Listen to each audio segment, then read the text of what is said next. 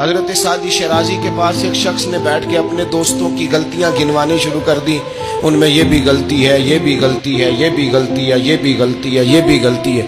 تو حضرت سعدی ہنس پڑے، فرمانے لگے، اور یاد رکھ، تیرے سجن بڑے ہی برے ہیں اور پانی بڑا بھی گندا ہو نا، تو آگ بجھانے کے کام پھر بھی آ جایا کرتا ہے۔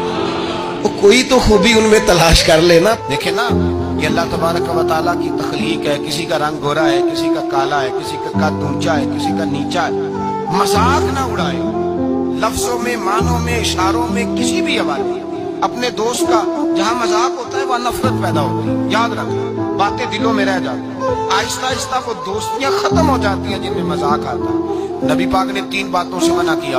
ایک فرمایا، دوست سے باس نہ کرو۔ ایک فرمایا، اس کا مذاق نہ اڑاؤ۔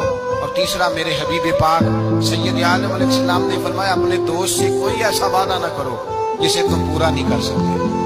کوئی ایسا اس کے ساتھ وعدہ نہ کرو۔ کوئی ایسا وعدہ نہ کرو۔ اپنے دوست کے ساتھ وہی بات کرو جس پر تم پورے۔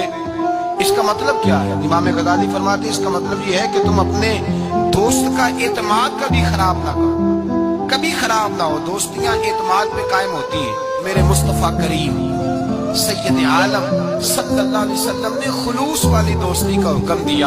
اور کتنے پیارے لفظ ارشاد فرمائے۔ فرمایا، میرا مومن تو وہ ہے کہ جو چیز اپنے لیے پسند کرتا ہے، وہی اپنے بھائی کے لیے بھی پسند کرتا ہے۔